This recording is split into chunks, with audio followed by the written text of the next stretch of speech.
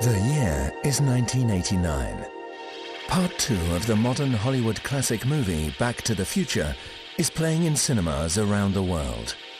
Boundaries of time and space are broken. Fantasy becomes reality, and reality becomes fantasy. Perhaps many of us experience this most with the flying taxicab, inspired by the Citroën DS. A real car whose introduction in 1955 made history with its revolutionary futuristic design.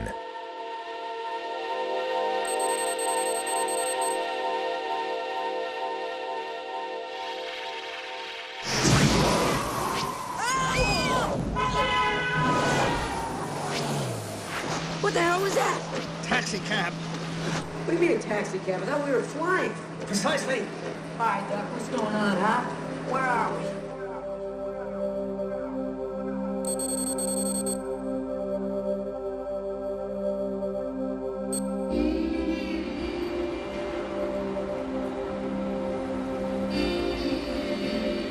San Francisco, the city where the future started, such as we experience in Back to the Future. To be more precise, at ILM, Industrial Light and Magic, also known for movies such as Star Wars, Jurassic Park, and Harry Potter. The future in Back to the Future is designed with precision. Every detail is well thought out. Nothing is coincidental. From the button on the dashboard to the actors' costumes. The mastermind behind this is ILM's visual effects art director, John Bell. Uh, these are two shirts from Back to the Future 3.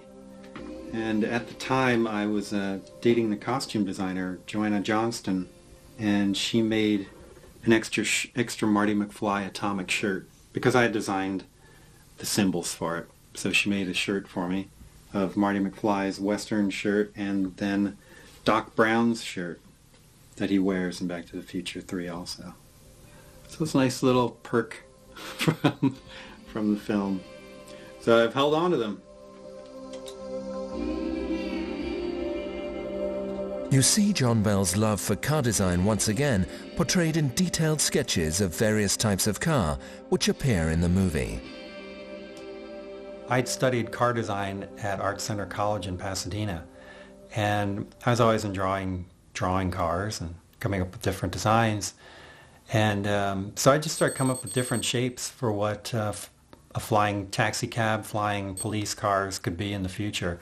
I figured if there were going to be flying cars in the future, there'd be government cars like police cars, firefighting vehicles. Those would be the first things to fly, ambulances, paramedics.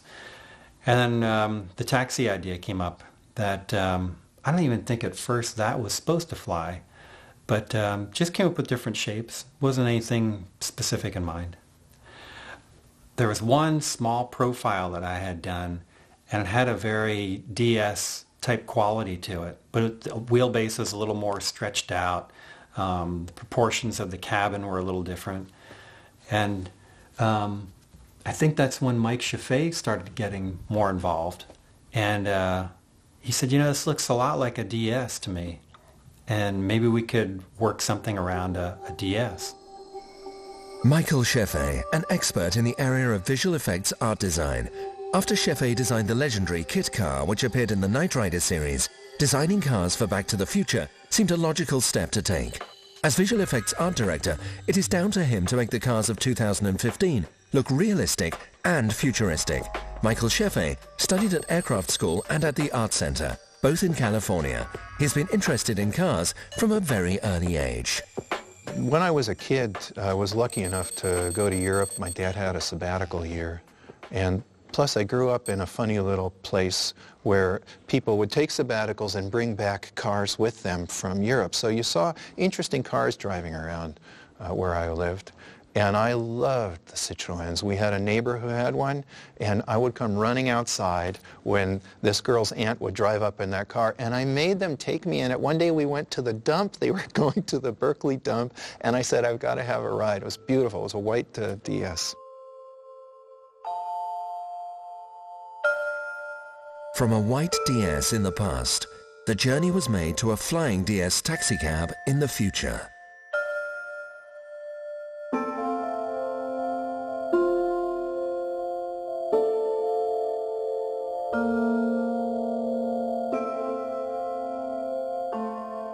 There were some things that were clear in the movie.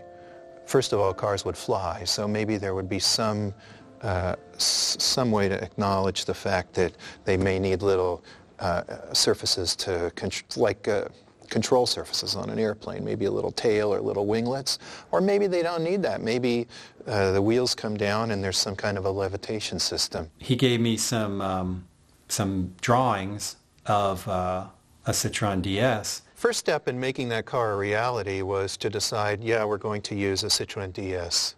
And in order to do that, took pictures of the car and then laid out the photographs, measured the car, and made a scale drawing of the car and gave John some of these drawings to use as an underlay so he could sketch over it to perfectly get the feel of that car transferred onto a, a, real Citroën. And I did some overlays on top of that and, and altered it and massaged it to fit into a, a DS chassis, DS proportion. So John did this beautiful sketch which uses that same perspective so the builders can see, oh right, we change this, we change that, and we make this roof and we add these parts and so forth.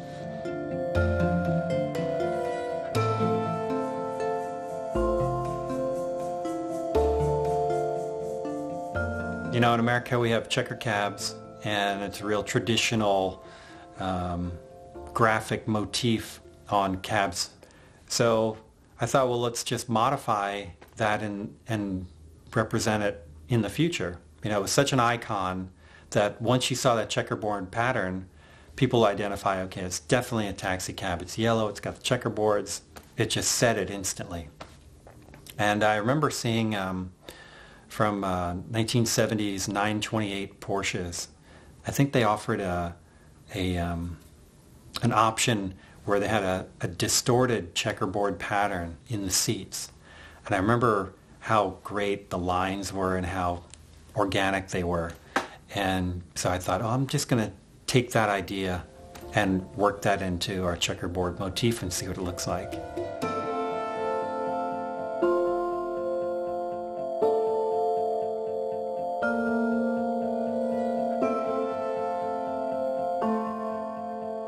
When it comes to making the seats, though, the checkerboard, he didn't want to see just a regular square pattern. He wanted it to be big and small, big and small like this, kind of like that 60s op art. And in order to make that fabric, every piece had to be specially cut, sewn together, then the whole thing pieced together. The collaboration between John Bell and Michael Scheffe was very inspiring. With great respect for each other's talent and vision, together they fine-tuned every detail, idea, and development. He would come in to make sure we had the checker pattern just right. He made sure that we had the correct yellow for the for the overall paint scheme just right and the roof details. He wanted to add more of an 80s uh, like a uh, like a, a, splatter paint job, which is really subtle, but it's in the it's in the um, the dashboard of the of the DS. So he'd come in and ask me if that fit into the overall vision of the car. He was very good, very responsible with doing that, and it was great. It was a wonderful collaboration.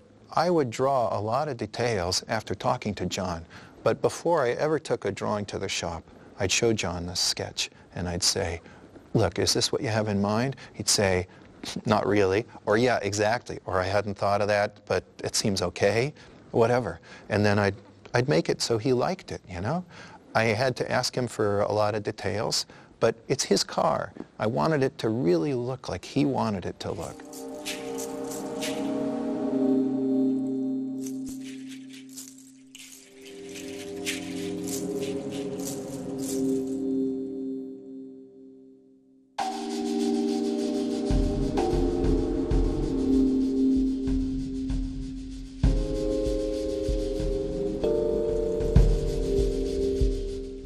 loved these big taillights that John had drawn below the roof. The Citroën has a light up here, but you wouldn't see it with this big thing on it. So we used taillights from a 59 Cadillac, and they look so perfect with the rest of the car, kind of streamlined and lumpy all at the same time.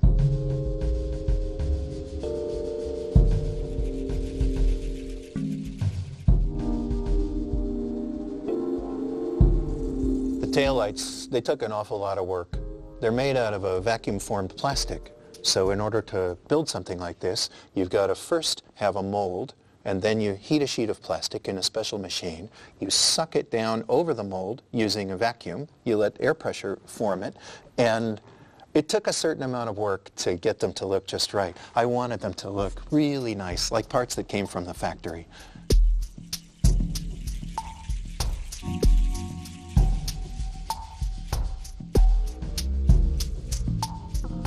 The idea on these graphs is as a, as a, a, value gets bigger, the lit area also gets bigger, and you would, in theory, have needles pointing to it. We didn't expect to be so close on the interior we would see a moving needle, but we did expect to be close enough that this light would be really nice to have, and the lights on the dash too.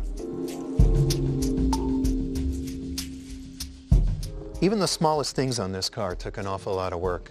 This is all done before computers. In order to get this typeface, which didn't exist at the time, I had to draw it. I drew it in pen on an original maybe this big. We shot it with a special graphic arts camera, and from that we get a negative. It's a film negative. From the negative, we make a positive. In this case, the positive is a rub-down transfer. So you take the transfer and you rub it down onto the window. It's actually got a little glue on it, so you just press it into place. Well, every bit of signage on the taxi had to be done that way.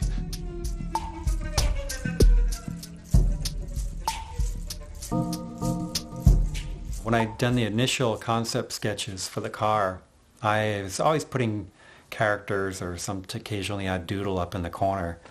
Here's this picture of this great guy up in the corner, and he wrote, your driver, Serge. You know, Serge has a double meaning in uh, in uh, the U.S. You know, it could be somebody's name, short, short for Sergio, or it could mean that you're surging, you're you're lurching, you're um, thrusting forward.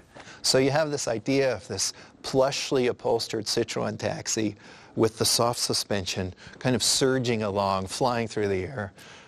Well, we thought that was kind of funny. But when the time came for uh, there's a meter in the back of the cab. The rate meter has a picture of the driver. And on the rate meter it says, your driver. Now it says Bernie, because in the script his name is Bernie. This is a picture they took in a photo shoot of the actual actor who was the driver, and costume had to go make his outfit before the pictures were taken. It's a transparency, and behind this is a little light. So in the old days when they, they used this, the light would come on. It says, your driver, Bernie, here.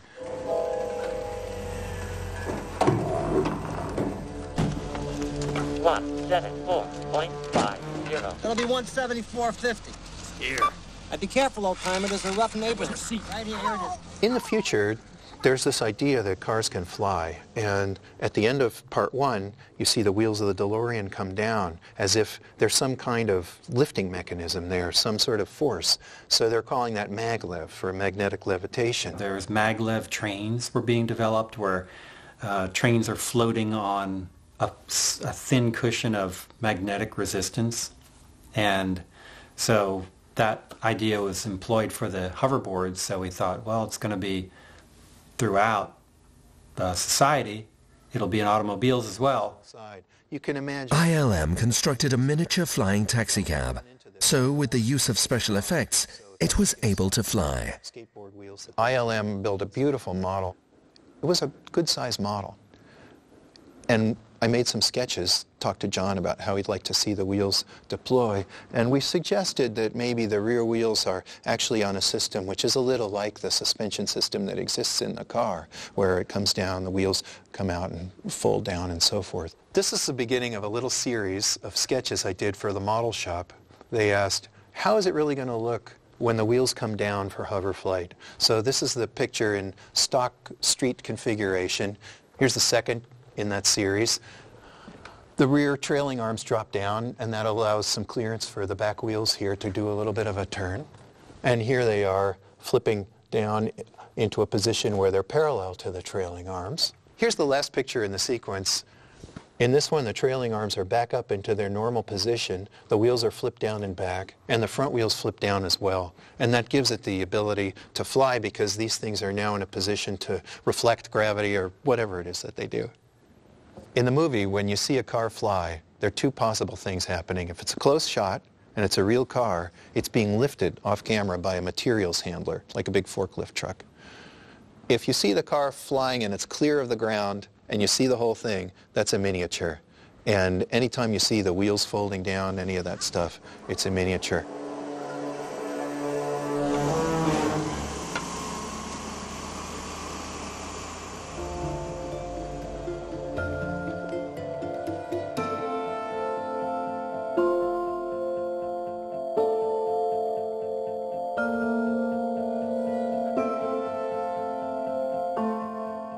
Taxi cabs in the U.S., the taxi driver has to have a, a certificate to drive his cab to operate it. And so we need signatures on that, on that certificate. So Michael came up with the idea where he was going to sign his name, I was going to sign my name, and it became the cab driver's certificate in the movie. Here's a little certificate that gives this taxi one year, from 2015 to 2016, to be operated in intercity hover flight. And if you look here carefully, you'll see there's John Bell's signature. We're the inspectors. And there's my signature.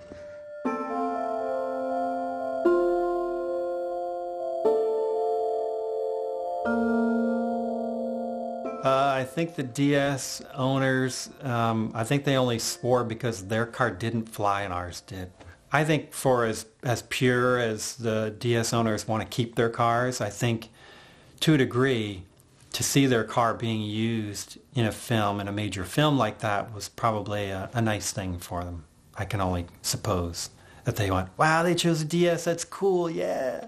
All the way along when you're building something, you see it step by step.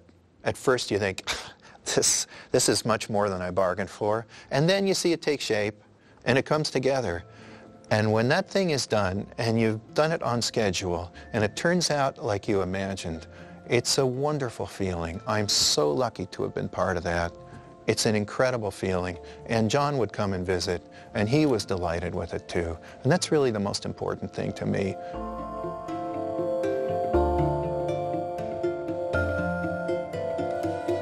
Twenty years after the premiere of Back to the Future Part 2, the flying taxicab is still very much an object of curiosity. Just like its introduction in 1955, the car is both revolutionary and futuristic.